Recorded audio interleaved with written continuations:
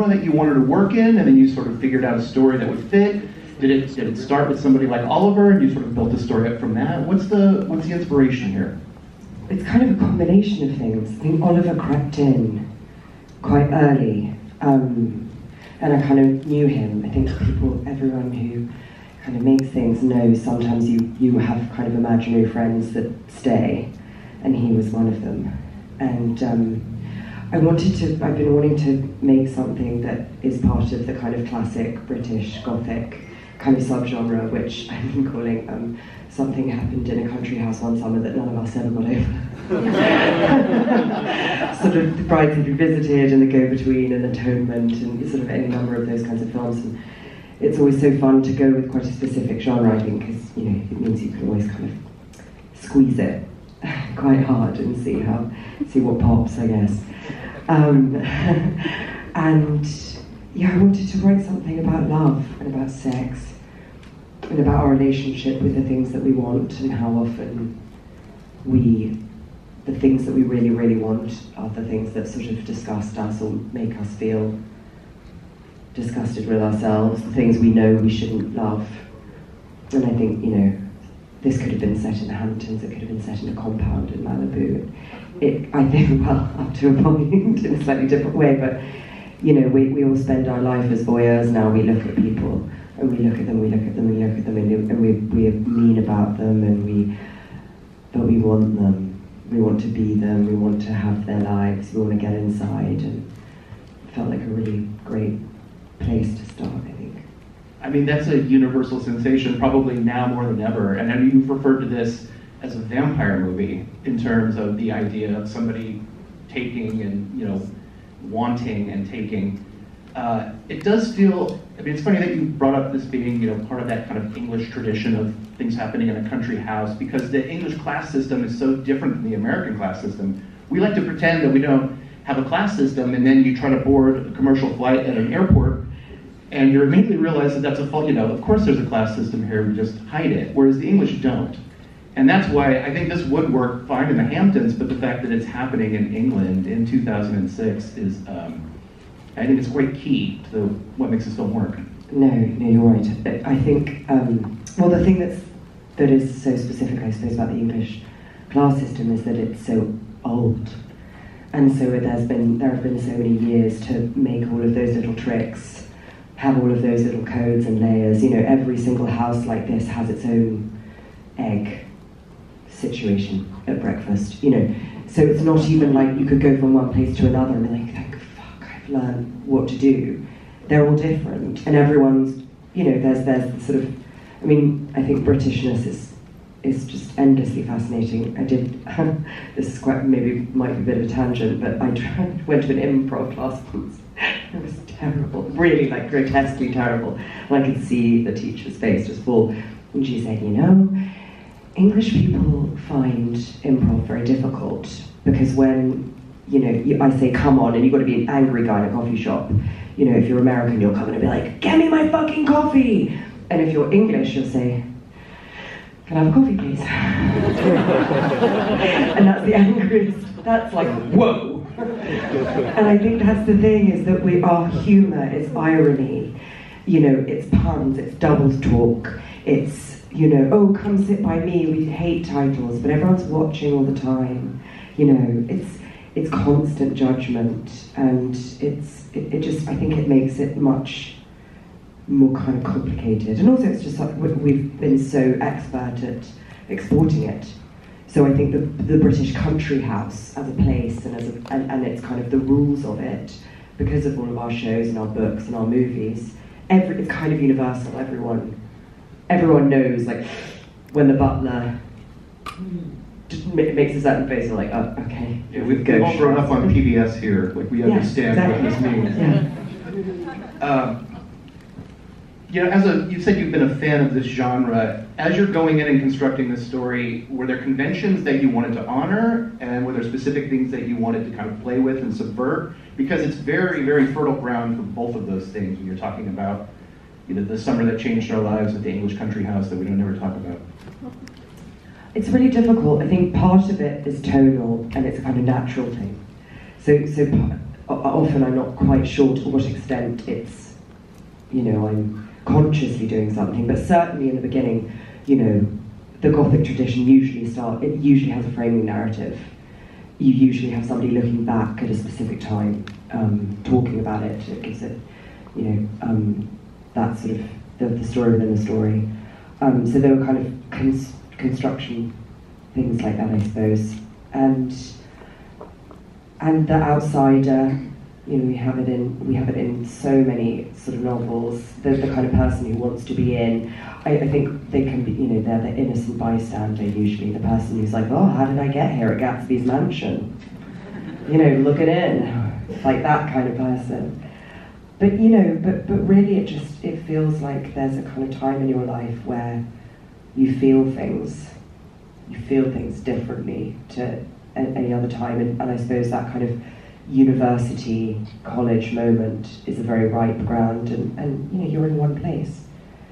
So it, it's a kind of constant yearning, like burning, intensifying, you know, thing. Yes.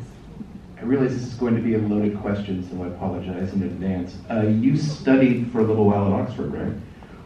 Were there was there any of your experience whatsoever that you brought to this film? Which is not to say that this is about your experience at Oxford. Um, preface that. there aren't any cops in here.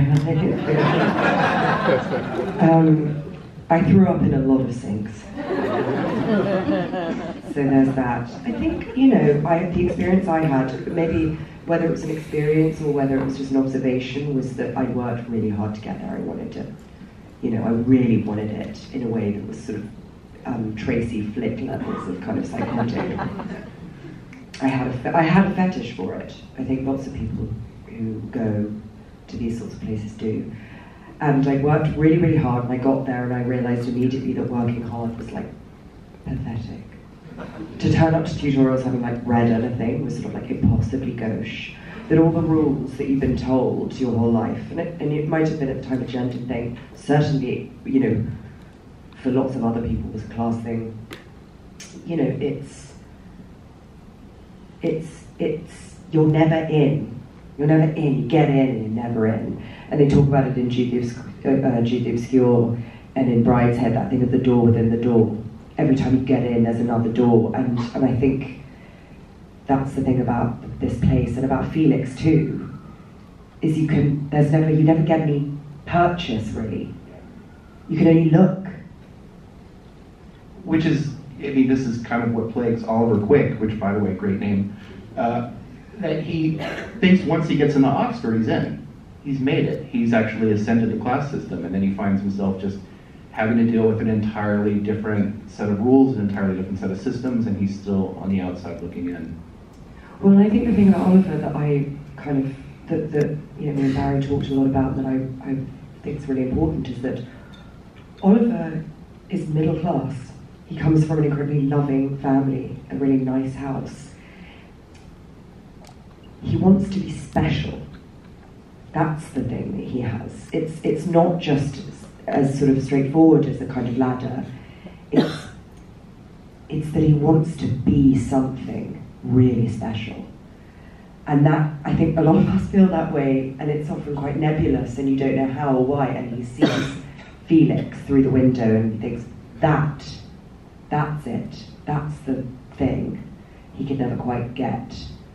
Um, and yes, it's just, you know, he has to learn very quickly. I think his gift is working out what people want and giving it to them, even though he can never quite get the thing he wants himself. But he has to learn quickly, you know, what they want and to give it to them discreetly. How early on did uh, Barry Keoghan come into the process? I know you've described the collaboration between you and him as being like holding hands and jumping off a cliff together when you were making this. yeah, sliding down a drain together. I had seen Killing of a Sacred Deer, and I just couldn't believe it. Yeah. I want to say thank you, so I've made it. Thank you.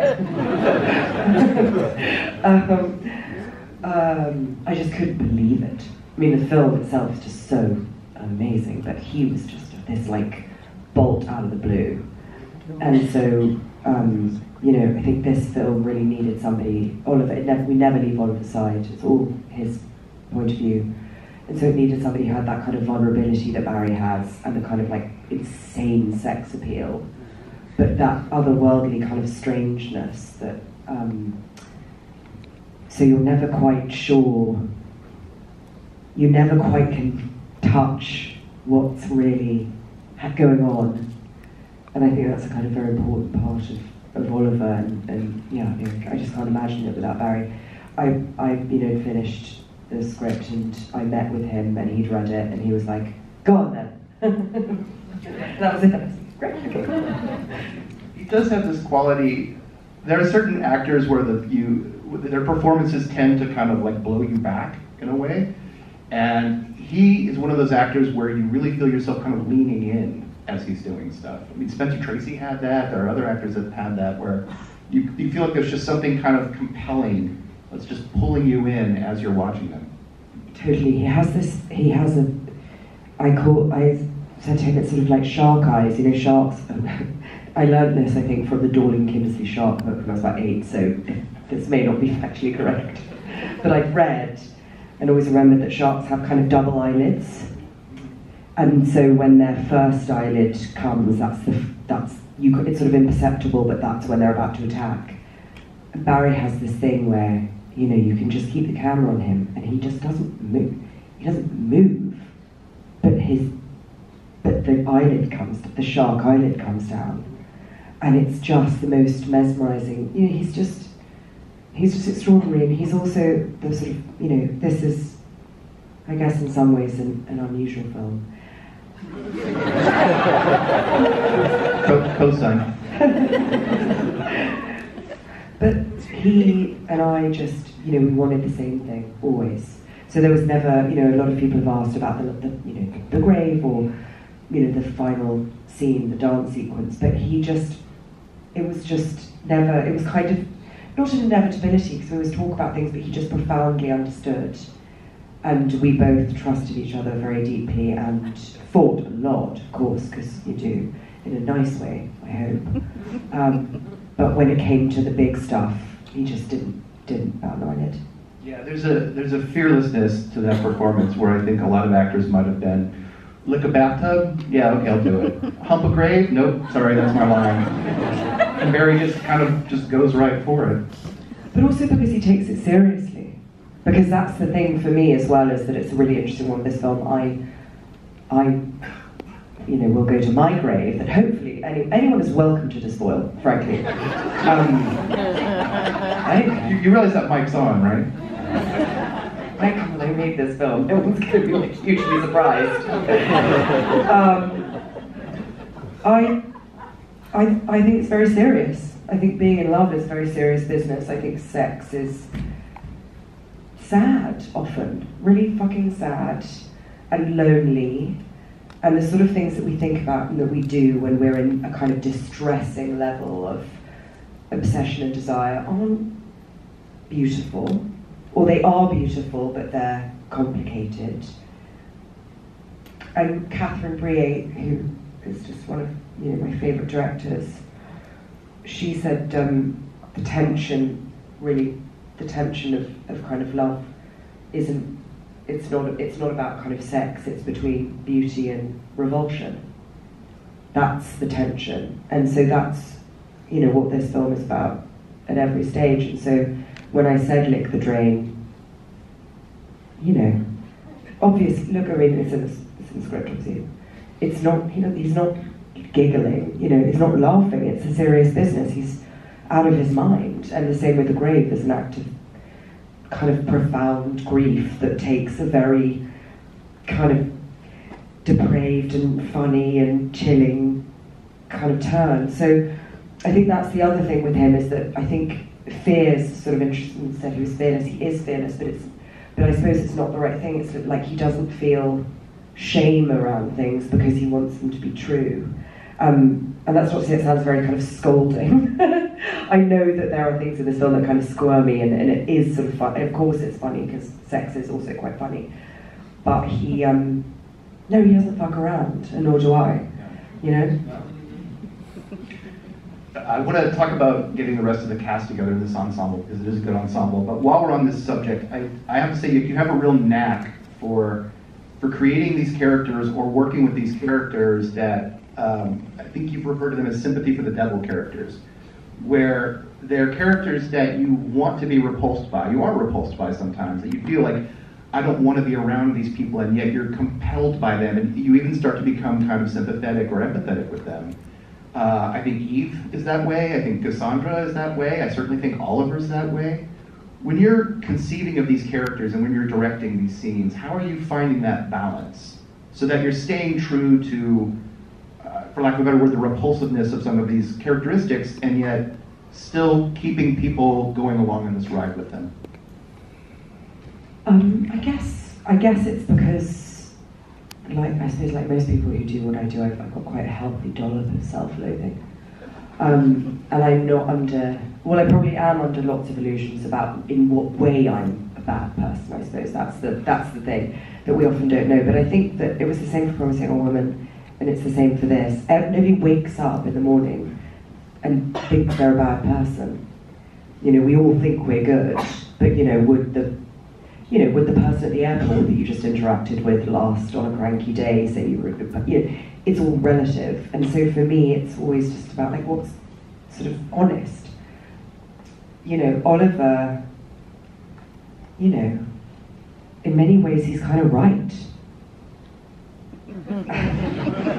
or at least honest. And I think, um, you know, it's the same with Felix. Like, you know, he's a nice enough guy, he's just very weak and very entitled. And Rosamund, you know, Elspeth Catton, I mean, like, how could she be a bad person? She's just so fucking great. You know, like, you don't, we don't care. Do we care? And that's the thing, it's like, it's not for us to make moral judgments about people, it's to kind of, you know, I want, I want, I want us all to relate to it, I guess. Well, when you've got somebody like Rosamund Pike showing up on screen, you know, you want to relate to her, and then she says something along the lines of like, "Oh, I can't stand ugliness. I don't want anything to do with ugliness." And then you suddenly find yourself being like, "Okay, where am I with this person? Like, I want to like them, but you're making this very hard for me, man." Uh, so, I mean, obviously, like you cast somebody like Rosamund Pike so she can do that. But let's talk a little bit about getting the rest of the cast together. Um, well, it was, it was sort of quite straightforward. I did a lot of begging. I begged Rosamund because I was just she's just such gifted comic actress. I just thought she's you know I just really wanted to see her do something like thrillingly kind of comic. Um, Richard was the same, and then Alison Oliver and um, Archie did two of the most like brilliant auditions I've ever seen in my life.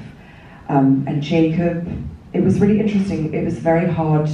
Felix was the hardest character to cast because actually being the golden boy is in, in lots of ways it, it could be kind of boring or he could be one note. A lot of people came in and did a kind of Sebastian Flyte esque, sort of louche, kind of almost period thing. And and Jacob just came in as Felix. He was just a dope. You know, he was just like the kind of guy that you would like lose your mind over in 2006 and, and of course now. But that just was like kind of a silly Billy, you know, like just not a serious person, I suppose, as, as um, they would say in Succession. And um, there was something so touching about it. And again, it was just that thing of he understood, he understood what the character was, and he was the person who came in and he was like, oh, he's just a guy he just happens to be really beautiful and rich, but he's just a guy, he's just some guy.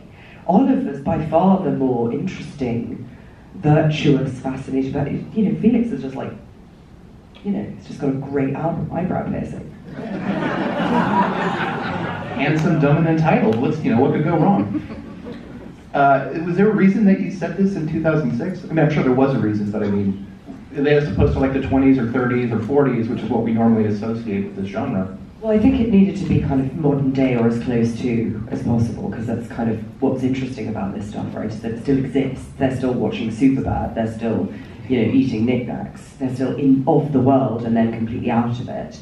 Um, you know, again, the sort of structural thing meant the framing narrative meant that it needed to be in the We needed to know something had happened in the past. And then, just from a purely cynical point of view, uh, it was the last year in England that you could smoke inside. And, and so it, it, nothing makes something look like a period drama more than somebody lighting up in a pub because you go, what? It's so transgressive still. Um, you know, the music's amazing and the clothes are terrible. And I think that it knocks the glamour off it a little bit. We need to have a, that, that slight feeling of, you know, no matter how rich you are, your fake tan is still kind of clotted around your wrists because you know, Saint-Tropez hadn't quite got their recipe right yet. you know, and, and your hair extensions were sort of dodgy, and you know, we, we needed to feel a little bit of distance, I think, for it to really work. Uh, I know it's a cliche to, you often hear that people be like, oh no, the, the, the, city, the city is another character in the story, or, or the set, the set is such a character in the story, and you're like, yeah, okay, sure. And yet, um, I will say that this house, that Saltburn itself, uh, does seem to be a particularly strong member of this ensemble cast. Uh, how does one find a place like this when you're looking for it? Do you go on Zillow and it's just sort of country estate must suggest aristocratic rock, must have uh, topiary maze, like? Yeah, you just text daddy. you may borrow the house. Somebody asked if it was my house. and last week I was like, oh my god, I wish. wouldn't let me in it if it was. But um, we just asked around for a long time. It was really, really hard to find it because we needed something that hadn't been seen before, something that felt lived in, something that was enormous. You know, there wasn't a golf club that hadn't been turned into flats. And um, we asked around, around, around, around. Then this amazing family thought it might be interesting, and so I went up to meet them and. You know, uh, part of the stipulation of us doing it because there are there aren't even photographs. There, there weren't photographs of the house on the internet. Like nobody knew it existed um, we're not allowed to talk about, we're not allowed to say the name of the house or where it is or who the family are that live there. That was part of the deal. Um, so it kind of, yeah, it's sort of this sort of magic secret place, I guess. So no Saltburn tours, no buses going by? Look, I can't, whatever they want to do, I, wholeheartedly support it. Get that merch. Saltburn t-shirts and beanies available out in the lobby. Uh, can you talk a little bit about the decision to shoot this in Academy ratio and coming up with the look of this because it does have um, it does have a particularly wonderful singular look for still being a country estate, a recognizable English country estate movie. Well, I think there are kind of um, a few practical considerations. Um, obviously, the house is very tall um, and square. And so actually, if you're kind of shooting anamorphic, we would have missed an enormous amount of it. Also, I like to be, me and Linus like to be very, very close in and close ups. And then, uh, you know, the more square you are, the more face fills the screen. You're not kind of bothering with all the stuff in the deep background. Um, and it, you know, a lot of our references were sort of paintings, were sort of Caravaggio and Gainsborough portraits, and um, it makes it much easier to have that kind of formal composition the squarer you are. And then, you know, it just, we, we went and on the recce, we kind of shot in various different ways, we did some tests, and it just, there wasn't really another, there wasn't really another option, and it, and it feels like the Catton, you know, the Catton Playhouse box that Oliver opens, you always have this kind of voyeuristic sense of sort of peeping in. Uh, before we go, I, I think we would be remiss to not talk about the ending. Um, was this part of the original conception when you were coming up with the story? Was this something that kind of came late in the game when you're thinking, how can I give Oliver the happy ending that he deserves? You know, just yeah. kind of filming it. Thank you. It is a happy ending. Um, so, um, it was originally it was going to be the exact inverse of Felix's tall, naked walking. So, you know, obviously with Felix's tour, we, we, we kind of shot it. Oliver's been sleeping in the King's bedroom, which still has Henry VIII funk on it, and is walking um, is walking back. And, and, and, you know, I just, about halfway through shooting, I just thought, it's not enough. It doesn't have the joy and the jubilation and that kind of post-coital feeling that it needs to have. And so, as I would often do, I'd say, Barry, Barry, and he'd say, yeah. I'd say, Um, would it, if if it wasn't a walk, if it was a dance to Sophie Ellis-Bextor's Murder on the Dance Floor, what would you say? You just went, yeah, no, that was it. Because again, you know, it made sense.